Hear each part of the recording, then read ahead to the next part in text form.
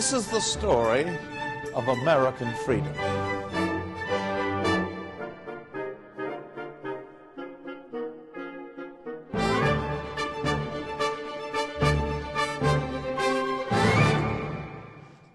In 1960, America stood at the apex of its moral authority.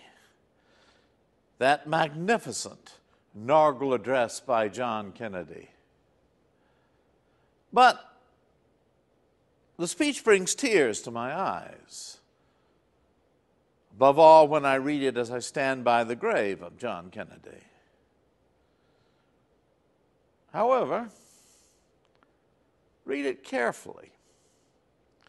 America is prepared to bear any burden and pay any price to ensure the survival and success of freedom. President Kennedy speaks to our old allies of Europe, with which we share so many cultural ties. He speaks to the nations of South America promising a new alliance to work together for progress. He speaks to the emerging nations of Asia and Africa. He wants to reach into every hut in every village in the world to bring democracy and prosperity. There is not a single word about 10% of the American population, our African American population. They are totally admitted, uh, omitted from this speech, from these promises. Now, it could not be that Kennedy was unaware that stirring deeply within the African American community were feelings of the deepest injustice. The name we use today, African American, was not freely used. In those days, still, one of the polite terms was colored. Negro, which was the term most often used by Martin Luther King, black. But whatever the term, these Americans were not there. Now, they had shed their blood in World War I. In fact, they had won their freedom on the fields of battles of the Civil War. They had been with Teddy Roosevelt up San Juan Hill. They had shed their blood on the Western Front, some of the earliest American troops to go into action in World War I were the Harlem Hellcats. It was said that when the French government tried to offer them the Croix de Guerre, Woodrow Wilson sought to block it. Well, the French Assembly answered, We believe in the universal rights of men. And they had fought the battlefields of World War II. In fact, the first integration of the United States Army actually came under General Patton during the Battle of the Bulge, when he put rifles into the hands of every soldier in his command and had them fight side by side. So they had fought for this country, they had bled for this country, and yet they were admitted. They were omitted, left out. Now, already in 1955, one of the greatest figures in American history, Martin Luther King, had come to the attention of the nation for leading a boycott in Birmingham, Alabama. Most of you, fortunately, can no longer remember those days but all through the South. White toilets, colored toilets, white schools, colored schools, white drinking fountains, colored drinking fountains. An African American could drive wearily for hours, only to find himself in a town where he could not stay in any hotel. He would simply have to, with his family, sleep in his car. Now, his money was good, but he could not take them into a diner, a restaurant, and buy them something to eat. He would have to go around to the back door and once again eat in his car. That was a second class degrading existence. And it wasn't just in the South. Cities like Boston were racist. Already in the 1930s, the great African American Olympic champion Owens came back from Berlin and he was asked, What did you think about Hitler's racial laws? And he said, I don't know anything about politics. But in Berlin, when I got on the streetcar, I got in by the front door and sat in the front seat. When I came back to Cleveland, I was ordered to the back door and had to sit in the back seat, no matter how many Olympic medals I had won. Well, it was an evil system, and it was enforced with great brutality. Now, the 13th and 14th and 15th Amendments, passed after the Civil War, had been seen and envisioned by the great Lincoln as bringing equality to the African American, ending slavery, ensuring that every citizen of the United States had an equal right to life, liberty, and property. And giving to the African American male the right to vote. Well, in one of the most sordid political deals in this country's history, those rights were stripped away. Oh, slavery wasn't reinstituted. But the African American was reduced in the South to a status not far beyond it by being a tenant farmer, completely at the mercy of a new form of white master. See, in 1876, there was a disputed election and it was thrown into a congressional committee, and the deal was made that um, Rutherford, Rutherford B. Hayes the Republican, would be named President of the United States. But in return, the federal troops that had been occupying the South, in many cases trying to ensure the right to vote for African Americans, their right to hold public office, they would be withdrawn. And the South reverted, reverted to a system of denying by chicanery the vote to the African American, making sure they held no public office.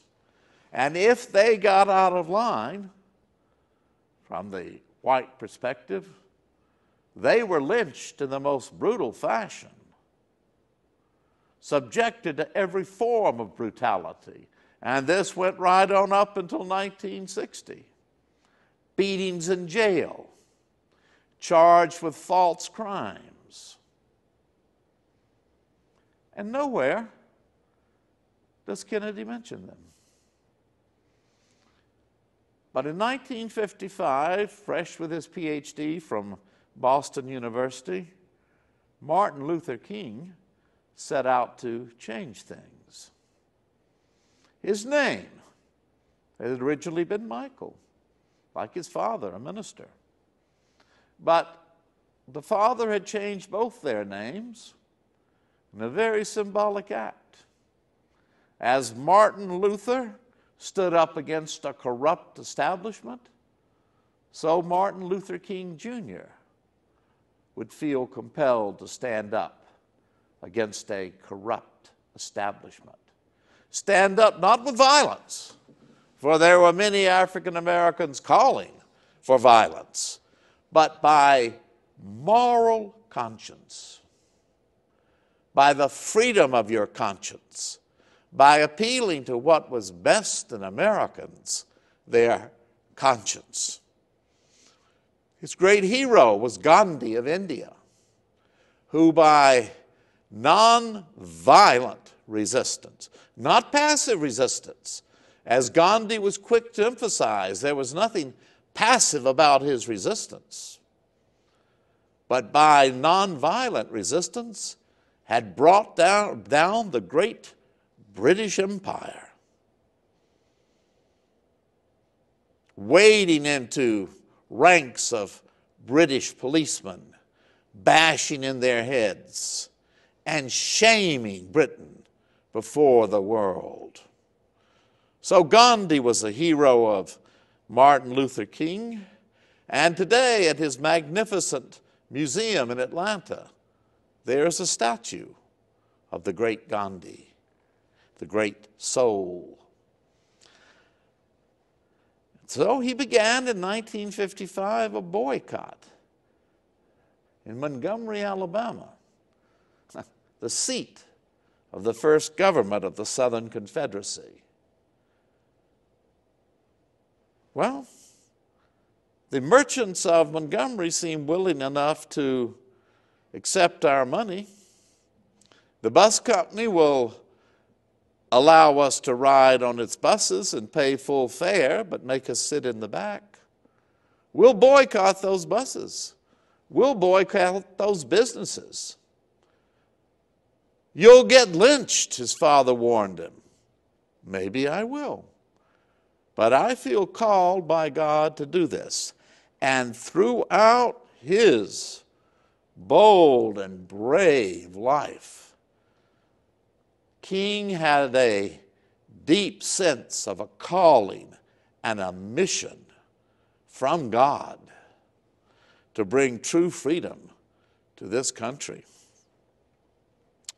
Well, the boycott turned out to be more successful than King had hoped.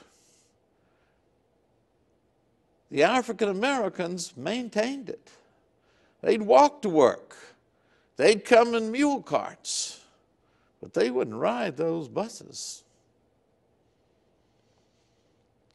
And thus, by 1960, the civil rights movement was in full swing. And it struck a chord with those young, idealistic Americans, white and African American alike. And thus, the summer of 1961, they began to travel through the South. They began to demand registration for African Americans to vote. They would sit side by side in diners, daring the police to come in and arrest them. And the police were only too willing to do so with a strong use of their batons, beating these demonstrators, or as they were called in the South, outside agitators communist agitators. And indeed, the civil rights movement was seen as a communist conspiracy. And King himself was branded as a communist. Pretty early on in his career, the FBI, under J. Edgar Hoover, began to keep a dossier on him, to wiretap into his telephones, trying to prove that he was a communist. No, he was an American who believed in freedom. Kennedy didn't know what to do with this. He was worried about carrying the South. And he was afraid he might lose the next election if he stood too strongly behind this civil rights movement. King met with Kennedy on more than one occasion. He was not especially impressed with Kennedy's commitment to the civil rights movement. And then, on a sweltering August day in 1963, King led one of the greatest marches, one of the greatest demonstrations in American history, right in the shadow of the Lincoln Memorial, and called out in one of the grandest orations in American history. For he was the most powerful speaker in American history. It was a remarkable combination he was a minister, and he spoke in the tones of a minister. He spoke in the tones of a black minister, in the tones of a revival. But it was mixed with erudition. He had written a letter from a Birmingham jail to well meaning white ministers, calling upon him to go cautiously I am telling them and quoting from Paul, from Cicero, from St. Thomas Aquinas, reminding them about natural law. And he took us in this August speech, this sweltering summer of the Negro's discontent, right out of Richard III. He reminded us that we were founded on the principles that all men are created equal and they are endowed by their Creator with the unalienable right of life and liberty and the pursuit of happiness. We are still waiting for that to be granted to us. It was a promissory note in 1776. It cannot be any longer a promissory note. We want it now. We want freedom to ring throughout this land. And do not think you can wait. I call for a peaceful change to this segregation. But there are many who will come after me who will use violence to bring it to an end. And the heart of a nation was moved.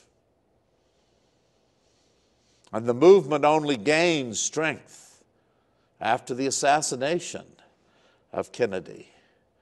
And the presidency was taken up by Lyndon Johnson, a Texan. But he would do more than any other white to achieve this equality, culminating in the passage of the Civil Rights Act. Johnson himself using King's words, the words of an old Negro spiritual, we shall overcome. In fact,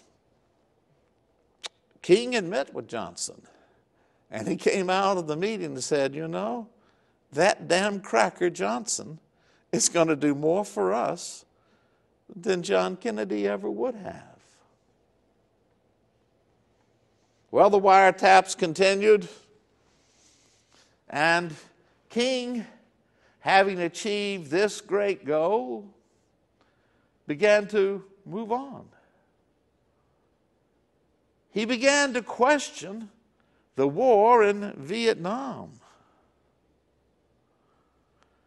Why are we fighting a war thousands of miles away to bring our democracy to another people? Let us achieve it here in our countries first. How is this a war any different from a colonial war by the British? a war of imperialism by the French. Why are African American men and poor white men, why are they the ones fighting this war and dying? Where is the cause for it? You can never achieve by force true freedom. Well, now, wait a minute. He was getting out of line for Johnson. Oh, no, we can't have that. I've done all of this for the African American. How dare they question my foreign policy? But then King went on and questioned, You have seen the American, the African American, gain his freedom to vote, an ending to segregation. But that will all be meaningless if that African American cannot feed his family or her family. Our wages are far below those of whites. Our opportunities for jobs are far below those of whites. This economic system is as corrupt and unjust as segregation itself. Thus, he took up the cause of the poor, like the garbage collectors in Memphis. And he marched with them. When he was in Memphis, early April, he was so tired and worn out, so weary of giving speech after speech after speech. But he was going to be introduced that night. All he wanted to do was stand up, take some applause. But the crowd wouldn't have it. They had to have a speech. And there on the spot, he gave one of the most brilliant and moving of all of his speeches, with its premonition that he would die, die early. I may not get to the promised land, he said, but we as a people will get there. And on April the 4th, 1968, he was shot dead by a still unknown assassin. But he had achieved for freedom in this country as much as I dare say so. The founders are Abraham Lincoln or Franklin Roosevelt by sheer force of conscience and by appealing to what was best in the Americans.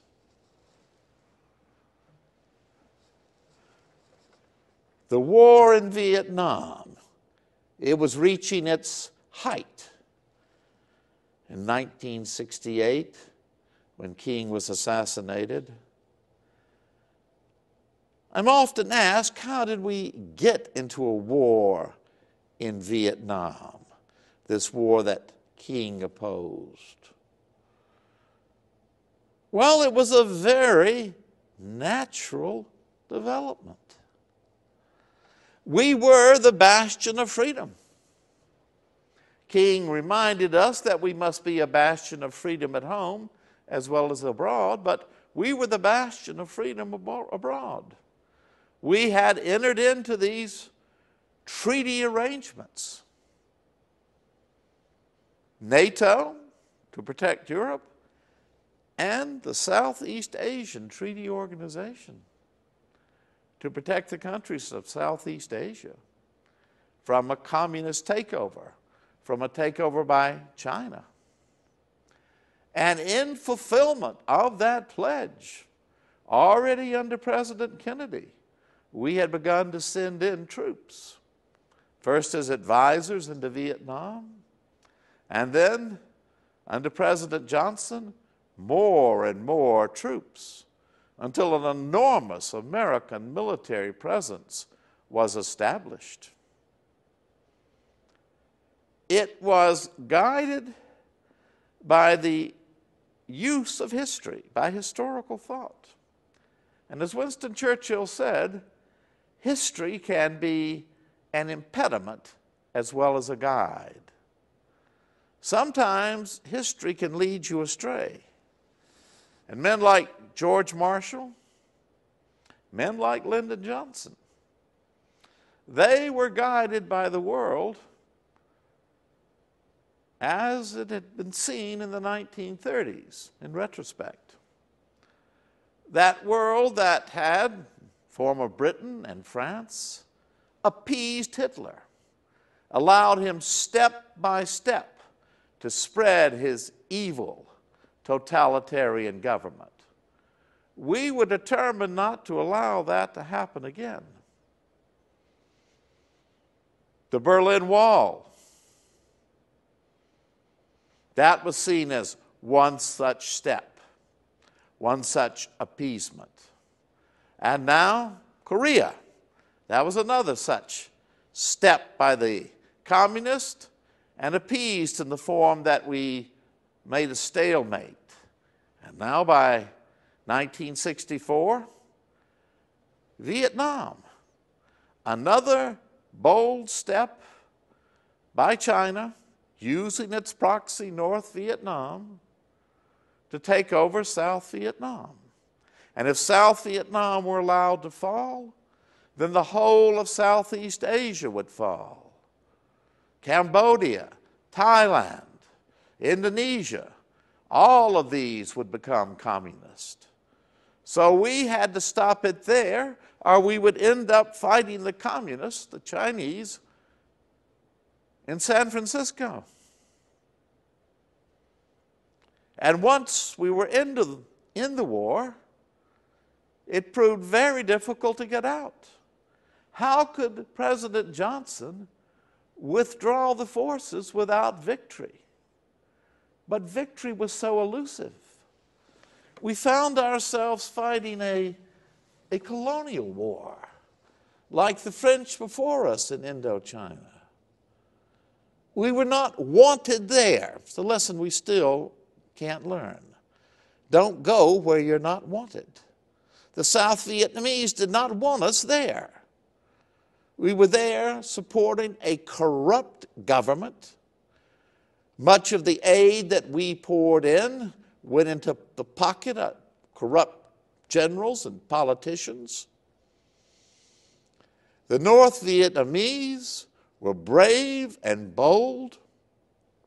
They had a great deal of support in the villages and towns and cities of Vietnam. They were willing to die for their ideals. The South Vietnamese did not feel that way. This soon became America's war. And in bloody battles, their names ominously reminiscent of World War I and II, places like Hamburger Hill became slaughter grounds for American boys. Up and down that same bloody hill. But this time, unlike World War I and II, the press was not on their side. Very early on, the press began to see this as a war gone terribly wrong. Began to count up the enemy losses, the body count. And some journalists and even politicians came to understand that these figures sent out by the United States military were grossly inflated. If you took them at face value, the United States had probably killed the population of North Vietnam, the whole population, three times over. But nuclear weapons were not a possibility. Indeed, there was no front line in this war. Endless forays into the jungle, endless losses, until finally 56,000 Americans would die. And those who came back home, unlike World War I, unlike World War II, did not have victory parades down Main Street. No, they came home alone. They wore their uniforms, they were spat upon, their memory disgraced. They had died just as surely for their country as any other American soldiers. But to me, today, there is no more somber monument in Washington, no sadder monument than that simple black graven stone with the name of all those brave Americans.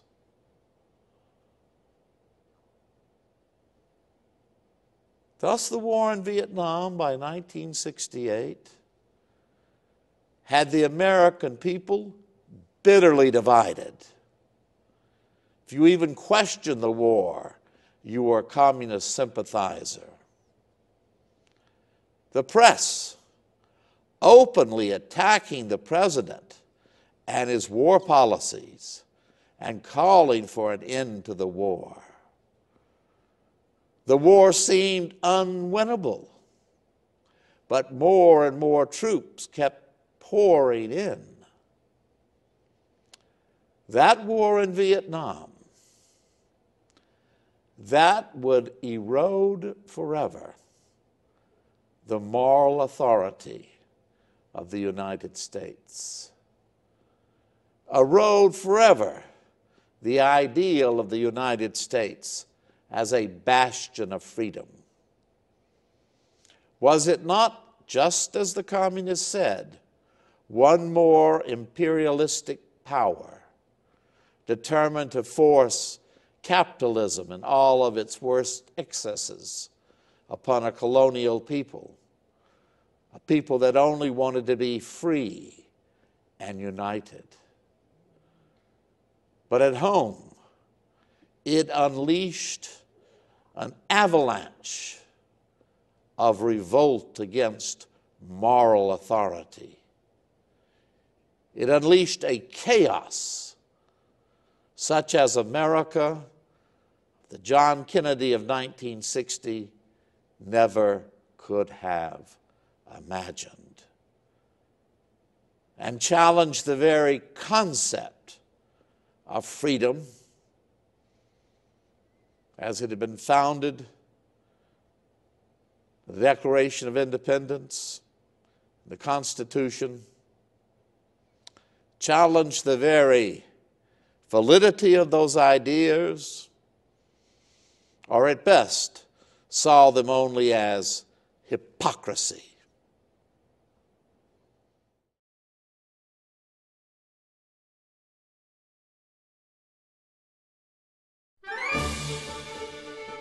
The story of freedom in America with Dr. J. Rufus Fears is made possible by the generous support of our freedom and heritage sponsors. The story of freedom in America is a program of the Institute for the American Constitutional Heritage at the University of Oklahoma, in partnership with the Alumni Association of the University of Oklahoma. For more videos and podcasts, visit freedom.ou.edu